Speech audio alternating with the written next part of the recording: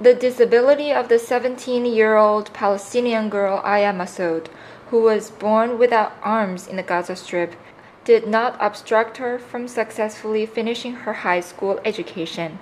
The teenager has not given in to her disability, but rather uses it as a motivation to seek education to achieve her dreams. Being unable to write like her peers, Aya managed at a very early age to teach herself how to use her toes to write. The girl feels very happy and proud of the accomplishment she has achieved after successfully completing all the studies from the elementary to high school education required ahead of attending university. ليش كان عندي يأس إن أو أخجل إني من حالي؟ كيف أمسك القلم يعني برجلي وصديقاتي بيدهم؟ بس بعد ما مرور سنوات عديدة تعودت على ما أمسك القلم.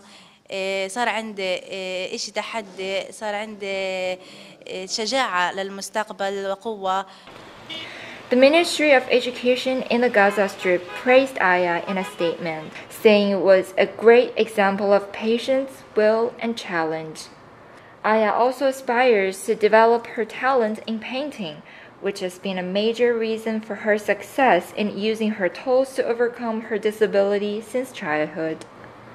With her tools, Aya has drawn many paintings expressing hope for the better and brighter future for her and the world as well. And, uh... طموحات وعندي أمنيات آه، ما بعد توجيه إن شاء الله سوف نحققها وتنمية موهبتي اللي هي الرسم وإن شاء الله راح أنميها من الاستمرار في الدراسة والاستمرار في الفن والموهبة وما بعد دخولي للجامعة آه، بالتفوق إن شاء الله راح أكمل دراستي واستمراري في التعليم